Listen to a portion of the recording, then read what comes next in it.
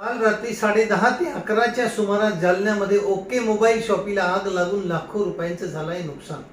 सविस्तर वृत्त असं की रात्री साडेदहा ते अकराच्या सुमारास मोबाईल शॉपी बंद करून गेल्यानंतर शॉक सर्किटमुळे ही आग लागली असण्याचा प्रथमदर्शी दर्शनी अंदाज आहे. लाखो रुपयांचं नुकसान झालंय. शेजारच्या दुकानदाराने ही बघितली की दुकानाला आग लागली आणि त्यांनी पोलीस स्टेशन आणि फायर स्टेशनला फोन केल्यामुळे फायर स्टेशनचे तिथे अग्निशामक दल तिथे उपलब्ध झालं त्यांनी आग नियंत्रणात आणली. मात्र लाखो रुपयांचं नुकसान झालंय. अनेक महिने दुकानं बंद होती आणि त्यामध्ये उत्साहामध्ये दुकानदारांनी माल भरला व दुकान चालू केलं आणि त्यातच अशी घटना दुसऱ्याच दिवशी झाल्यामुळे व्यापाऱ्याला प्रचंड मनस्ताप झालाय तर लाखो रुपयांचं नुकसान झालं जालन्यावरून आमचे प्रतिनिधी संजय आहेर यांचा हा रिपोर्ट. कडबी मंडी येथे दहा रात्री आता दहा साडेदहाच्या अकराच्या दरम्यान मोबाईल शॉपीला आग लागल्याची माहिती मिळाली होती.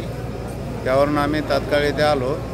तर मोबाईल शॉपीला आग लागली नंतर लागलेली होती त्यानंतर फायर ब्रिगेडची गाडी आली आणि तात्काळ विझवली आणि आग आटोक्यात आलेली आहे आता. जीवितहानी वगैरे काही झालेली नाही.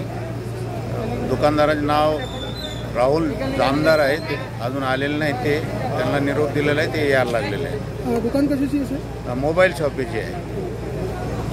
जीवितहानी वगैरे काही झालेली नाही. किती वाजता फोन आला आपल्याला?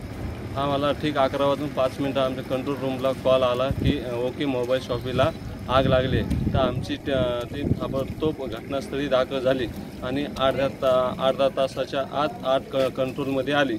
तर शॉर्ट सर्किटचा अंदाज असल्यामुळे आग लागलेली आहे. नुकसान किती झालेलं आहे? अंदाजे नुकसान दहा ते बारा लाख रुपयाचं नुकसान आहे.